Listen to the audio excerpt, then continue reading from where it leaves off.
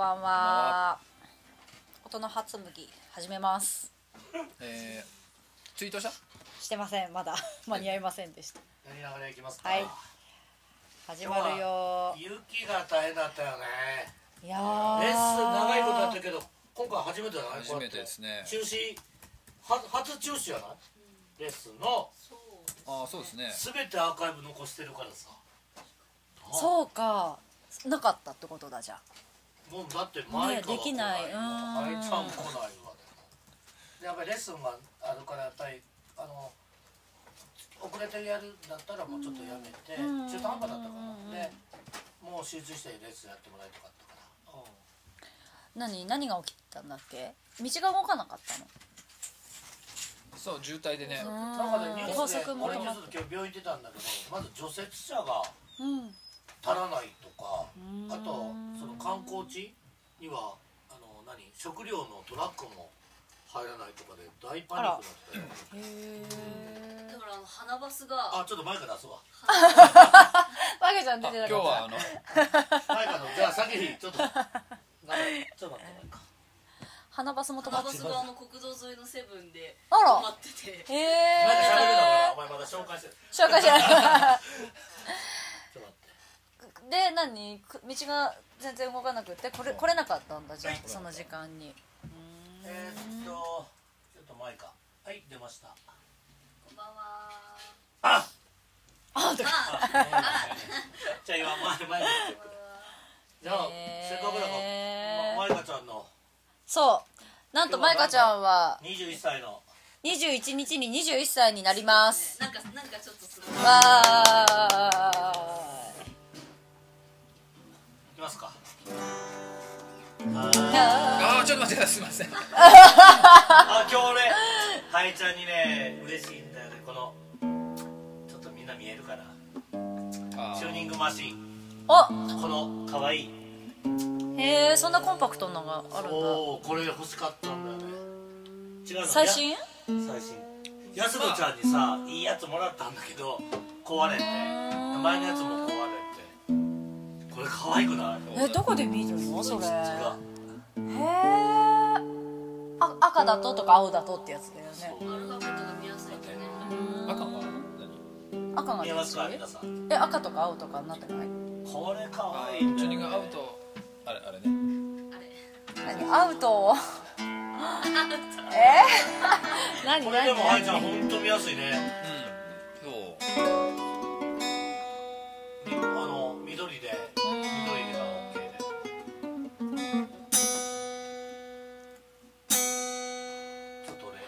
小さくていいね。そう小さくていいねえとっても。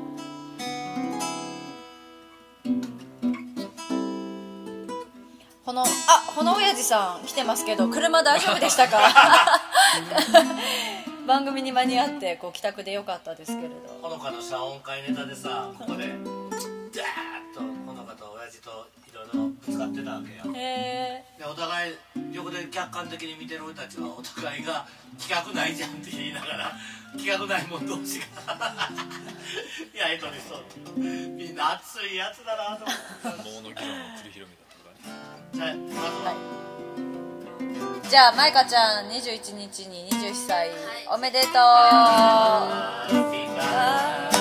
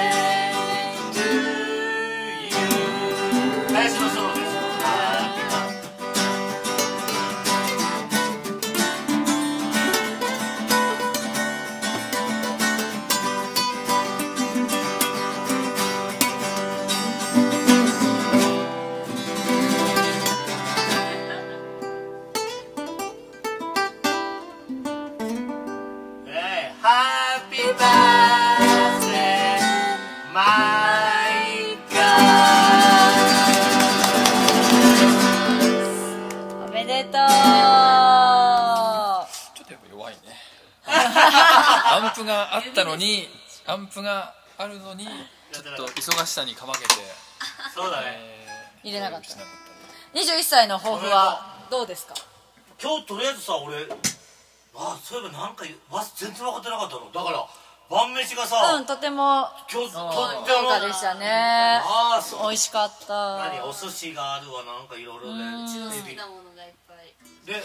とか誰かあれ？と思ったらああマイカだ。マイマイカ誕生日。あねディナーだっあ久米田さんこんばんは。そしておめでとうございますだ。あありがとうございます。えいらっしゃいませ。たはい。久米田さん最近全然会ってない会ってないね。ねそう。俺もそ会ってない。久米田と後藤としかいないような気がする最近。ー ひどいね久米さん？ひどいね久米さんね会いに来てくれないし月曜日ここにいるの分かってるのにね。3人うちら3人。でもあれじゃないの？こうエコブルームとは距離を置置くみたいな。それはなんで？なえ？なんで？いや吊るし上げられちゃうから。あ久米田さんが？吊るし上がるのは言うの？役目だから大丈夫だよ。しもうあれがすごい気になったんですけどすごい可愛いどれ？バレンタインかな。ああ本当だ。それねみゆきちゃんからねあの左側もうなんかなんかいろいろだよね。すごいねなんかディズニーの新しい何？家族ファミリーがあってあそうなんだ。左側へあそうなんだ。でそれちょっとで俺はちょっと説明的なあのみゆきちゃんが説明してくれたのを、ちょっと俺絶対覚えないと思って、ほのかと安住に聞いてもらあった。のが説明しに来てって。感じランドもねいろいろあれだね。あのその右側のやつとかね。右のチョコレートなんですよね。そうなんだ。まあマイカちゃんじゃあおめでとうだからええ気持ちですけれどもどうぞ。出ましたじゃん。袋だけ。どうぞええいいですか？ありがとうございまえー、すからおしゃれですおしゃれえおしゃれじゃないよ。いやいや達郎やあそうそうそうなんかちょっとわかんないけどそれねなんか家の中をちょちょっとこううんいや掃除じゃないあ掃除なんだけどこうあのパソコンとかさあそうそうそうそうそうちょっと置いとくといいかなと思って。っこり。ほっこりティッシュでこれ。ありがとうございます横に横に置いてください。ええ。えそそれ洗濯物とかねいいかもよちょっと可愛くうん使える使える。ありがとうございます外か営業も。ちゃんちゃんと来てるじゃん。本当。あと伊藤さん遅くなっちゃったけどえ！バレンタインデー。ちょっと気持ちで一口ですいません口ですいませんありがとうござい本ます当に。ありがとうございます。はいじゃあもらった？トイティーは？あ今。あの二人で。あすごいどうぞ。かわいい。あ本当に？ありがとう。あーすいません。みありがとう。一口ですけど。はい。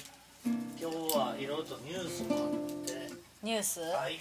まずマイカ誕生日おめでとうっていうやつそうですねえで21の抱負を。ます21の抱負ですか？はい。そうですね。21は。21の頃って何してたかな？抱負抱負聞いといていきなり喋り出すみたいな。いや多分みんなみたいえ多分みんなそう思ってると思うよ。今見てる人は。俺21の時どう？何したかな？みたいな。まあでも、うん。まあまあまずは聞こうっていうことで。いや今の独り言だよ。いやだからそう。言った割にはかすぐさ喋り出す。はいどうぞ。いきなりなんだなんだろうな21の抱負はいマイカいろいろあるっちゃいろいろありますけど。新宿に店を出すとかさ。店を出す。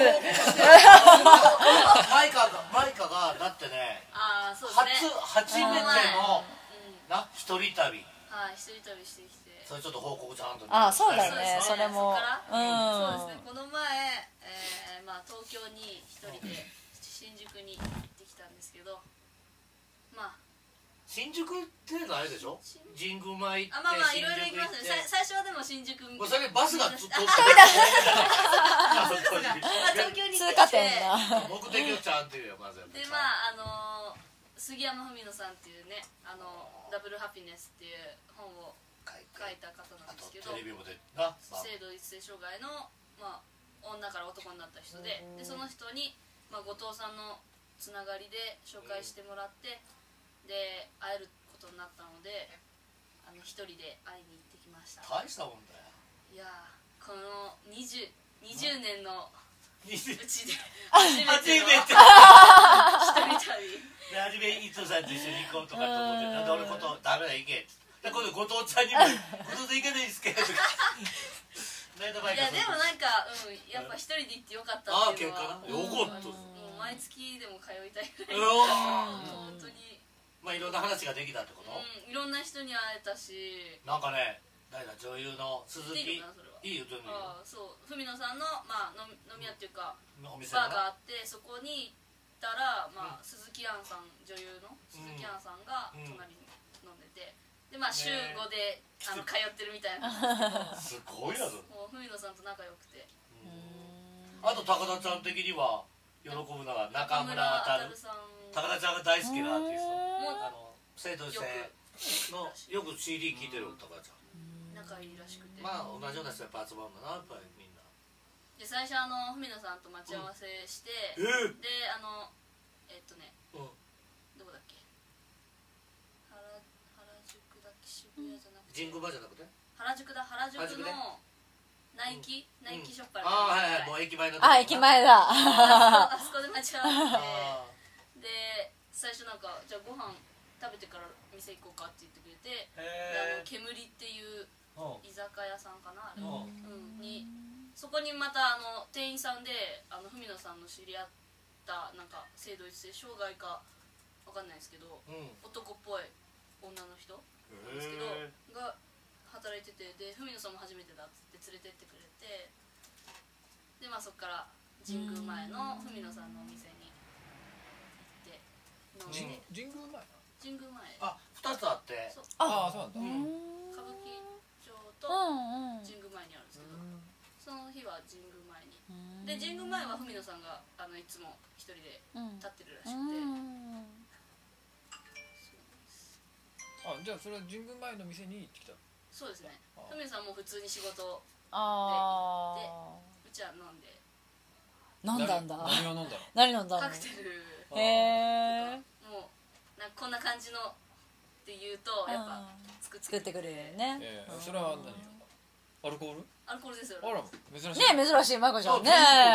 そう。珍し飲まない。だっていつも飲まないじゃん。まあ進めても飲まない。そうそうそう。そうですうん。かねだって今日だって桃のサイダーかなんか飲んでたまあまあまあなんかねうん。やっぱお酒飲める種類も少ないっていうのもあるし。へなんかでも、えうん、やっぱせっかくだし、うんうんあそうだねそうだね。でそっから一人で、まあ、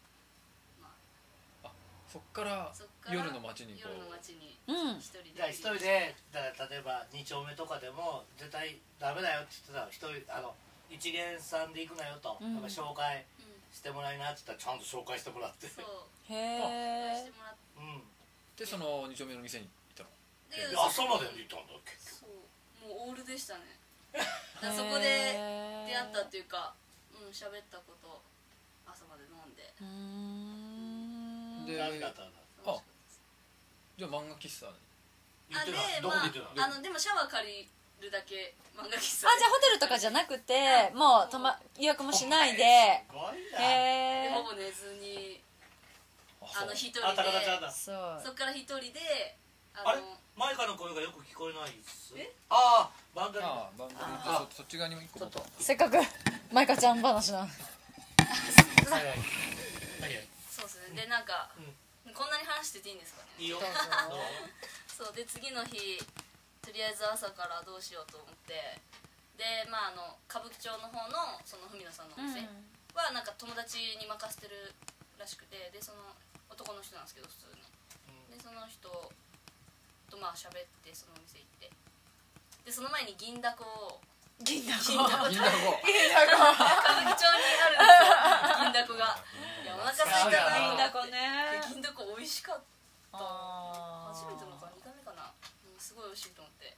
あれ俺あ20年ぐらい前からうん。前とかあるよね。あるね。あるよね。学生の頃は食った。銀だこね。結構美味しいですね銀だこ。で買ってたちゃんと食べたって一回ぐらいたこ焼き俺ね学生の頃よく食ってた買って？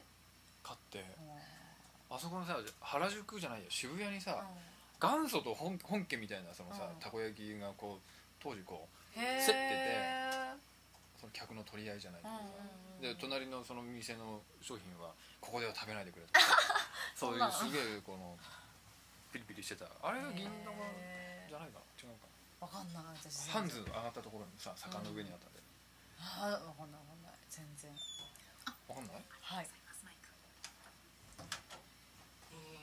でまあ一人で、まあ、うん。うん、でそれは何？お店で買って一人で歩きながら食べてたの？あのそのなんかある。んですよ隣にカウンターみたいなそこで食べれる。立って食べる。でそこで歌舞食べて伎町店か。そう歌舞伎よく行くなおで俺でさえよあまりよう歩かんあの本当ですか？もうずーっと歩いてましたよ。すっやることなくて。でもう あのだったらさ、寿司屋紹介すればよかったね。あー。友達がさはい。あの高田さん今日電話した？まだしてない？あまだしてない。うんじゃあね配信終わったら連絡しますねって。はい。高田さんちょっとあの えっと業務連絡で終わってからね。ちょっと終わってから電話しますので来ててください。はい。はい。そうでなんかまあ、うんその文野さんのお店の歌舞伎町店行って、うん。でその店長に「あのどっかいいとこないですかね?」っつって聞いて、うん。行った方がいいとこみたいな、うん。って言ったらどうせだったらね時間あるなら、うん。あのスカイツリーとか鎌倉観光観光してこればいいじゃん。って田舎の子や田舎の田舎の子やお前言われてで一人ででも、うん。そんな電車乗ってくのかとか思いながらも、あでもどせっかくだから行ってみようかなと、うんうん。一人一人旅を。おえで行ってきたの？行ってきた。すごい。すごいよ。すごいよ。ー。あそうそう次の日に来たの。スカイツリーも行ってなんかつぶやいてたようん一人で行ってきました。ね綺麗だった？よかった。まあスカイツリーはなんかもうあの中は入んなかったけどあそうだもう人がすごかったからやっぱり。うんまあ高いなって浅感じで。草浅草のも行って浅た草行ってきてうん。人がすごい。か雷門あ雷それでさっきのあのあれお土産か。あそそれで買ってきてくれたんだ。であのまあおばあちゃんのお守り買ってうん。ちょっとおばあちゃん今入院してるんで。あでもつ煮を食べて。めっちゃ美味しかったんです。どどこで食ったなんか雷門のその敷地内で屋台がいっぱいああって。あ もつ煮があったの。もつ煮があって。あらなかなかいいいいこいい根性してるね。楽しいね。だからちゃんも行きたいってさ冬野さんの店。中村あたるに食ってきたね。え行こうよ。ね。仲いいらしいんで、もつ煮が美味しかった。もつ煮とか言ってもうまビールともつ煮みたいなさ。まあ前かでもまあ偉いよな一人で飲んで酒いやもう楽しかったですね本当。なんかだからもう大丈夫だなって思いました一人でも。一回来たね。そう来月も行けたら行きたいな、うん、うんうんはい感じです。そうか。じゃあえーっとじゃあえ今日はマイカの誕生日がごめん残っとってもらって演奏の前にあの離れても。じゃあえーっとこっち側の、えー報告、えーからはプロデューサーの側に俺が、えーすまああのずっとちょっと連絡取ってた、えースプリングリサイタル。はい。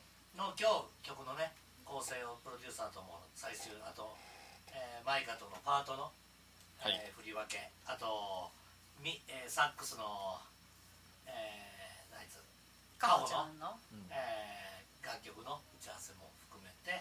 あとかほちゃんのその楽曲の今日さ音源だけは撮って、私がね譜面書く。あうん。ありがとう。でそれ21日に、はい。あのやっやれるように。はい。はい、で、えー、となんとスペシャルゲストで今日後でエコブルームの他のメンバーには音源と、えー高田ちゃんとしらっちとあとちょっと堀さんにも送っとこうかな。あのー、360とがゲスト正式に、えー決まりました。で彼らとは、まあ、一応昨日プロデューサーと僕はもう何遍もあったかな。でまあ久々に震えたアーティストってことをさプロデューサーにも伝えて、まあ、やっぱテーマが良かった。あと楽曲的にもすごく良かったかな。で彼らと、まあ、あのまず一つはベーシックなところで言うとあの KC の英語のやっぱり歌。やっぱり世界にやりたいって言ってもやっぱり通用しなかったから英語だけはどうしても。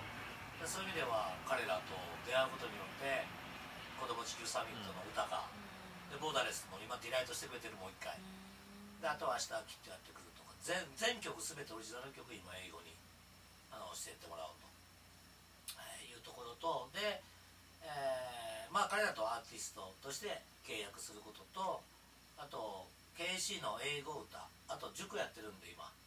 でそれの英語のやつを通じながらあの彼らと、まあ、あの子ども地球サミットの海外向けのビジョンを語やっていくで今日は実は、えーこの後ハイちゃんには彼らがまだ表にあのオープンしてない、えー楽曲を約15曲ぐらいかな、えーぜひとも聴いて、えー欲しいと。でアレンジもしてもらえたらなということで今日は扱ってるんで後でその楽曲渡します。まあ彼らが10代から作ってた。まあ、そこは白鳥がめちゃくちゃ気に入っててこれはまたまあいい意味でマイカなんかも刺激になってほしいなというぐらいにやっぱりよく隣の高校生がやっぱり自殺いじめで自殺したりとかしたらやっぱりすぐ歌にしてで災害が起こったらすぐ歌をやっぱり作ってやっぱり絶えずやっぱり社会と会話してるなっていうような感じはする。で逆に日本語を書くのがすごくなんていうかなストレスになってたんだけど、まあ、日本のクリエイターとか逆に日本語を歌うライブやる人たちは日本語歌ってくれなきゃ通用しないよみたいな当たり前のことを言ってたんだけど彼らの中ではやっぱりそこがしっくりこなかったかやっぱりどうしても第一言語が英語なんでどうしても英語で詩が出てくるっていう、まあ、そのスタイルのままあの僕俺たちとは付き合ってほしいし逆にまあ日本人だからお、ね、当然日本の歌を作っていくのはおのずと当然なっていくだろうし、ね、日本人としてこれからやっぱりちゃんと生きていくわけだから。ということで、えー昨日かな長い時間喋って。あ昨日というかもうずーっとここ何日もあったかな。でお互いのビジョンを確認し合って。だからすごくエコブルーム的にもっていうかな一回バンドの編成も含めて、彼らの楽曲にはもうまずはハイちゃんに聴いてもらいたいなというのはあのみんなにこうでもあった。でハイちゃんの音楽みーちゃんのやつとキム・ドックスのやつも聴いてもらってあとはキム、えー、向井クラブとかでキム・ドックスやったやつとかあとまああいつあの、そのネタはもうほとんど聞いてもらう。めちゃくちゃ気に入ってくれてる、はい。でまああの彼らと、えーだからスプリングリサイタルもゲストで、えー来てくれるんで。でそれも21日とりあえず練習して、もしあれだったらちょっと明日な連絡取ってなおもしかしたらスタジオ。連れてって面白いかなと、まああのまあ次にあとやるのは月2回のその KC の英語歌の後に実はねこれが一番これ面白いなと思うのが KES ワールドっつって、えー、あと企画書で説明するけどあの、えー、子ども地球サミットのこの番組を彼ら2人の英語版だけ英語以外なしで。でカホン持ってきてギター持ってきて歌とあのまあ彼らの話をずっと月2回ちょっと英語オンリーだけでやってみようかなって。まあなかなかチャレンジ。でこの間もやったら170人 7, 7人か。カナダオーストラリアとかやっぱり面白いねやっぱり。英まあ海外でね見てる人はやっぱり。すごく、うんで特に、まあ、彼らのフェイスブックからもひどかったりとかして。まあなんか具体的にやっていきたいなと思います。だからまあリサイタルをまあ一応がミュージシャン同士なんでリサイタルでな一緒にやることだから、で打ち上げ一緒に飲んで。友はね飲むなあみんなね酒飲まない 家族で。友はね俺俺が無理。あただねあんまりそういう機会がなかったかな。なんかね、うん、教えようと思ってる俺 まあそうですね。あのあのら騒ぎを。友はもうここに来たらもうワインとビール俺が無理やり飲ませるから。うんなおがねちょっと事故してた去年。9月に。死にかけたの。あの車に巻き込まれて。バイクで。で肝臓までやっちゃって。今の奇跡的に復活して、まあ、肝臓悪いって言ってビールは良くないなと思いながらもう大丈夫だっていう言葉も聞いたから飲まそうかな。あそれは医者は別に、まあ、酒は飲んでもあじゃあそれは大丈夫もう今奇跡的な復活だじゃないいやまあじゃあ全然いいじゃないですか。そうそうそういいと思うよ。そうそうなんか面まあ白いな。しかしまああの惨劇をじゃあ知るわけだいねやー だってか彼らまだ20そこそこで24としたよ26あへで妹がねまた、えー妹だけが2人えー二十、歳と16歳がいて要は面白くてお母さんが、まあ、成功、まあ、これギャグだよ。ジョークで言ってるんだけど、まあ、バイリンガルやっと日本語と英語が両方もできる子は二十歳のマリちゃんともう一人レイだから16歳の子でで俺よくいつも打ち合わせでノウ全部失敗失敗失敗失敗と5人続いてきてやっとノウハウになったんですね。って言ってすごい綺麗な。綺麗。さっき見させてもらっああたねすごい綺麗ね、うん。で一緒にあの16歳の子は今塩州にいるんで高校生で。でダンスやってる。ヒップホップのダンスやってる。でちょっとまあ聞こうかな。でトムの子供も5歳かな。一緒にあのケイシー来たいとか言ってくれてるしちょっと面白い展開できるかな。で今回のディサイターのチラシの裏に、えー、と英語歌とかそういうのをちょっとアピールしてあと LCV の3月からやる番組？そんなん。もちょっと今年はなんか新しい展開になりそうな予感はするよねなんかね、うん、まあみんなであのまあなんかいい出会い新しい出会いがな。したいなと、で一緒に海外公演、まあ、一緒に行けたら楽しいよね。でまあ久美さん久美さんもすごく今でまあ久美さんもこれからすごくまた別の役割いっぱい果たしてもらってまあ一回ライライブハウスを回るとかさ彼らだったらできるまた違うプロモーションが、新しいプロモーション確かに考えれるもんね、うん、もうすごく音楽ビジネスを世界中のビジネスをやっぱり調べてる子たちで、うん、だから、うん、そういうのも教えてほしいって言っていたし、うん、昨日もいろいろ話したんだけどね。まあやっていこうよね、うん。はい。まあ一応そんな感じで報告じゃあリサイタルにまずリサイタルに向けて、ねリサイタルだから楽しいくなると思うよ。あリサイタルの概要は後であれですか、リサイタルもじゃあかな内容あはい。もう。ああれでしたっけ？さっきの。リナのチラシから。そこない？あ私何もなんかあれあいや俺もねまだもらって見せてもらっただけですさっき。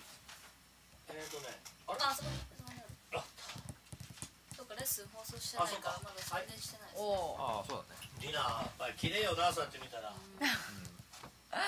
私をこのほ ほのかほのかな。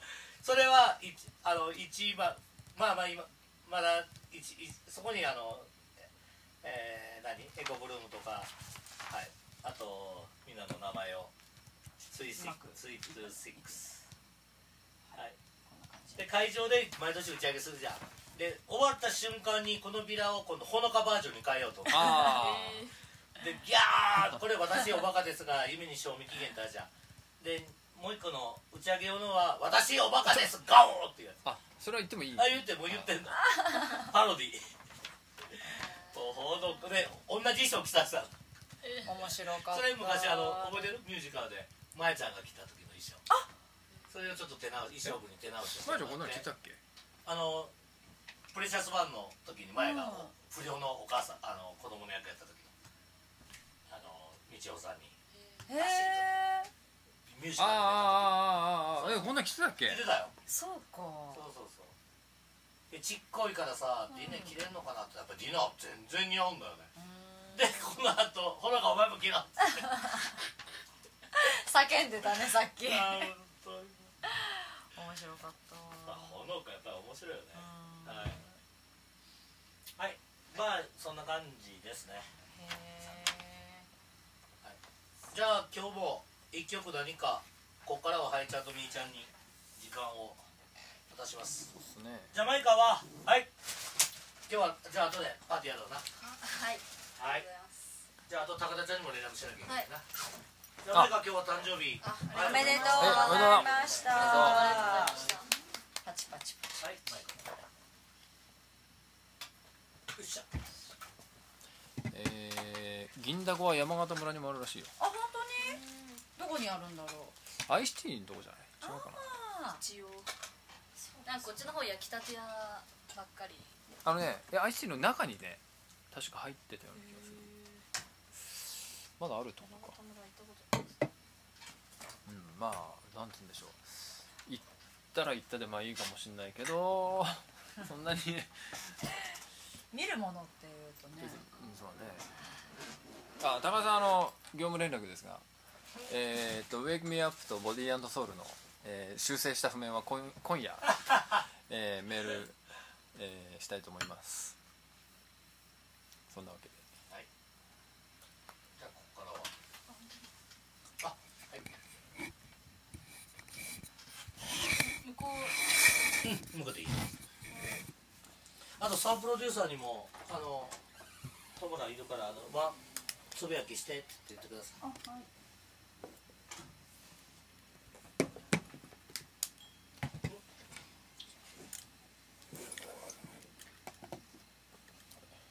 それでは最後に一曲。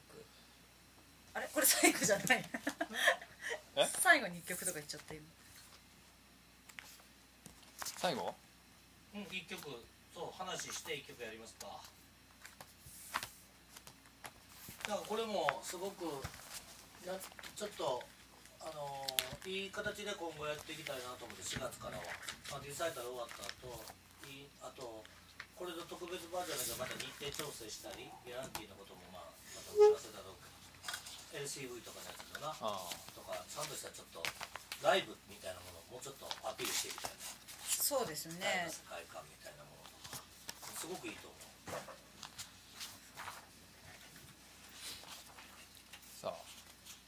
じゃあ先前回は久美さんネタのふるさと行きましたけれども。冬だ冬で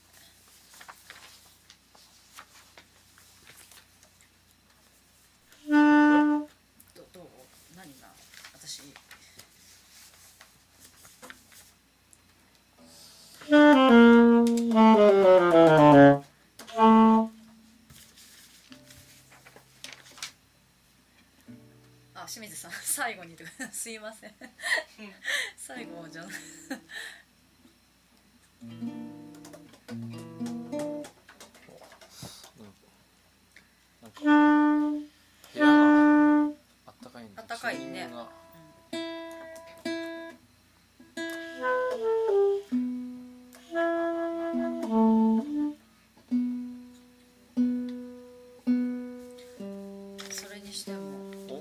年の冬はおかしなぐらい雪が降りますね。たまらんね。たまらないぐらいに。えこれ全国的にそうなのかな？まあでもねその日本海側はもうずいぶん前からひどかったでしょ？ああそうだね。雪のだっけこれ。それ何もうもう振りが始まってんの？いやいやいやいやなんかそうだったかなと。思って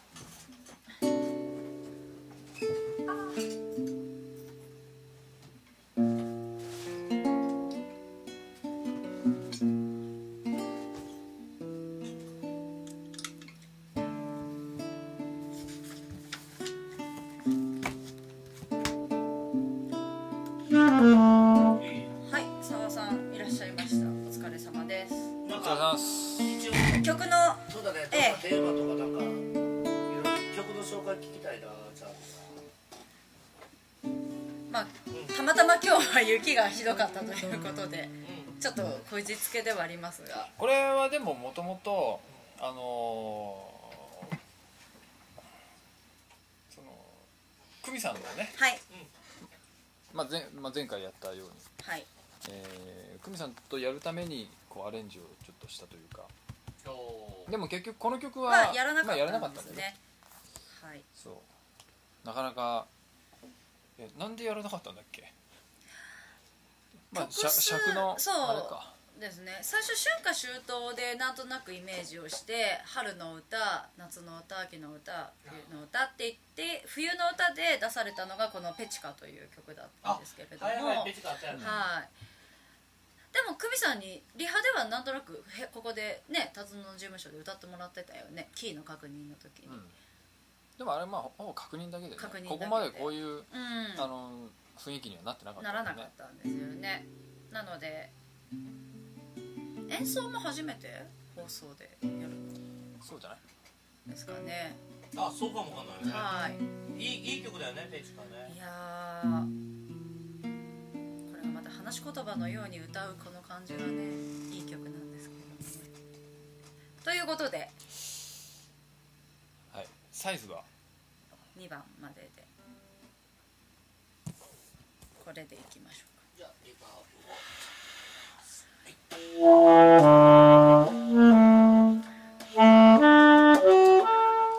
ちょっと俺なんか弾こうかはい。じゃあこのここまで感想までにしてで私ここでやってでどうでしょうか。なあじゃあも元のサイズで元のサイズというか1番やりますので感想やってもらって2番で。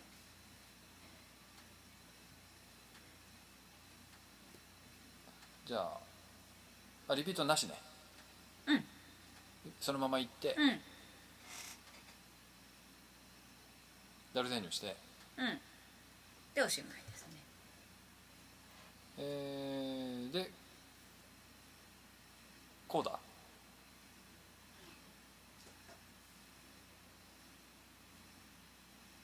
こうだこうだっていうかだから 1, 1番で2番で3番でいいんじゃないですか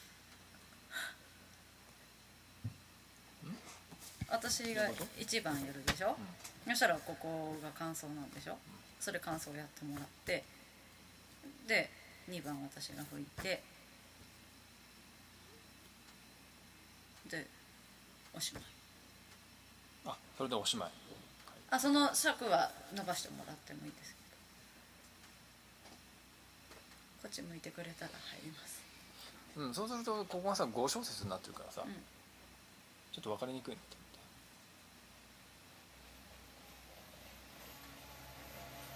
えじゃあどうすればいいんですか？あじゃあどこのどこのフレーズでソロを弾きたいですか？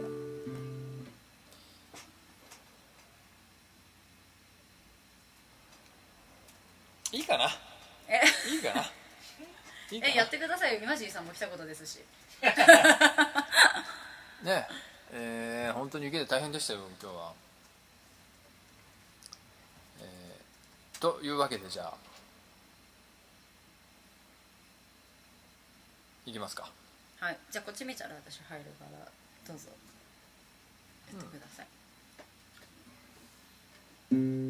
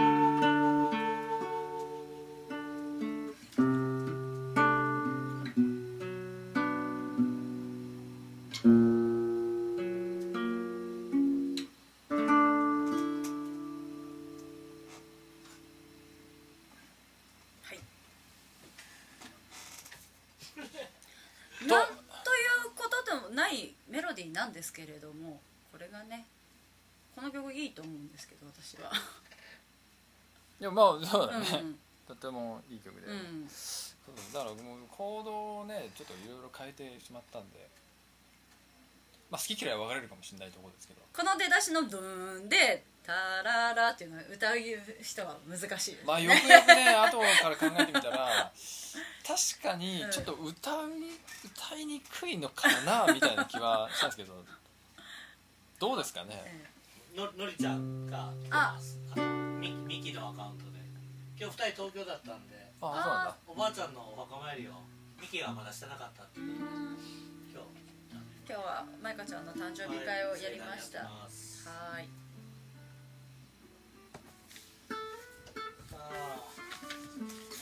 なんか音楽的に何かあります？はいちゃんの。ギターギターサウンドあります？か今日えそれはそれは何ですか？それはどう？ちょっとサクッと終わったよ今ね。まあそうまあ、曲がねあれだったね。まあいいいい曲だけどな、うん。好きだ、なんかもう一曲いこうよラスト。なんかない？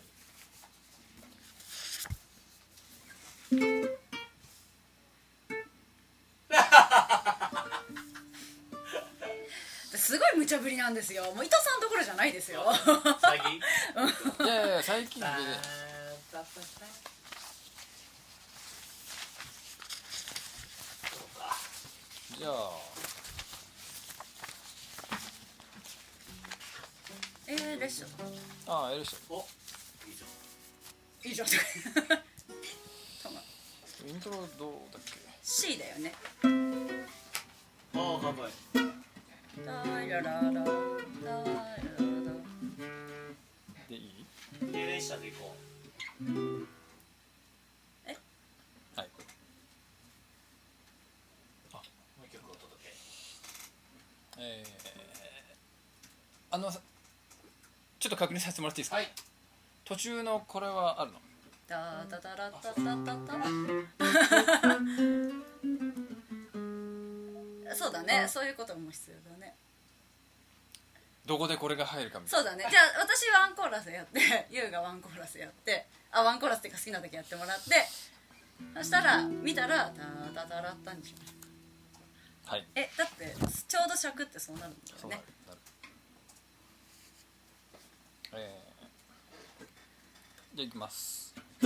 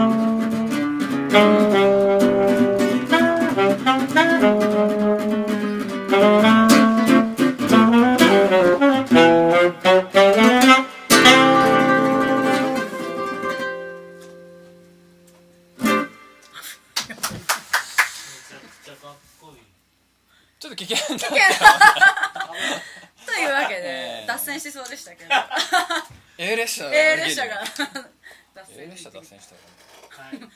スイングガールズを思い出しますああ。あそうですね。はい。えということで、いはいもう今日はこんな感こんなネタがあったんだね。A 列車ね。ちょたまたまちょっと発表。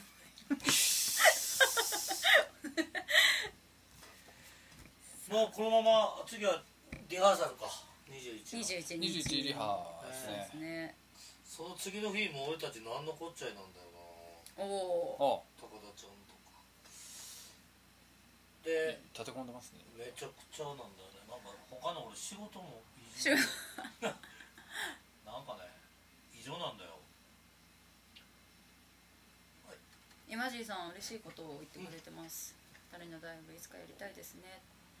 ありがとうございます。ありがとうございますやってくれ今時主催で神山。脱線しそうな。ヒヤヒヤライブ。はい。じゃあ、はい。今日はこのマイカの誕生日会そうですね。合流しよ。うよはい。ケイです。結局抱負は聞けなかったね。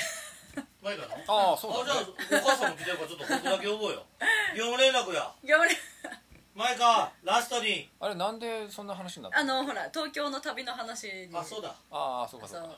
マイカマイカはい業務連絡。はいほ。話の途中だった。みミキものりちゃんもいるからさ。はい。抱負言ってだって21歳の。さっきの東京の旅で終わっちゃったそはい。それでおしまいです。はい。今日なんかあのエビチリとか美味しいよね、うんあれすごく美味しかった。あ今年の抱負今年じゃない21 21歳の抱負。今年の抱負とは別なのかまあ何でもいいまああそう。そうだね。でも一旦まあ同じそうなんですあまずはリサイタルで楽曲いっぱいやってくれるってことはすごく助かった、うんでまあ物を作って。来年はもう KC のリサイタルはお前担当だよ。あれもうアレンジも。アレンジもペンも。で360の方をこっち側に。もう任せそれ1年でできるもんですかね。ていややる気だな うーん。でまあできるんじゃない？コピーは譜面ぐらい書いてもらうまあ譜面ぐらい書いた方がいいよね。頑張ってくださいね。それ俺それ俺たちが 俺たちが期待することです そうじゃないけどね。マイカの方まあとてつもとてつもなくっていうか結構面倒くさいけどできないことじゃないと。思 うまあそのためには学点も勉強してやっぱりまあ今年の抱負で言ったんですけどやっぱり自分の曲を一曲でも多く作ら、うん、作りたいですね。とりあえずなんか今年はあれかな。詩を書きたいかな。書きたいっていうか詩を書く。書きたいと思った時に書くように言葉じゃなくて文字にできるようになりたいです。はい。そっからかなという感じです。はい。はい。はい。なるちゃんとか聞いてるかな、ね、はいみきちゃんもね。はい。はい。それでは、はい、オッケーじゃあありがとうございます。番組エンディングこのままいっちゃいます。はい。次回は後番組。土曜日の。はい、はい、せーの。あれ？まだ、ね、あいきなり、はい、いきなり。あなんか、ね、それであのー、いやいやいいよそれで出ていいんだけど、まあ次はだから当番組あれだなあのライブのであリハーサルのスタジオではい。録音した音を聞きながらえディナーとかほのかにはちょっと練習してもらったりとかしようかな。はい。はい。OK です。そうですか。じゃあ、えー、2週間後にまたはいお会いしまましたょう、お会いしましょう。せーの。まやねー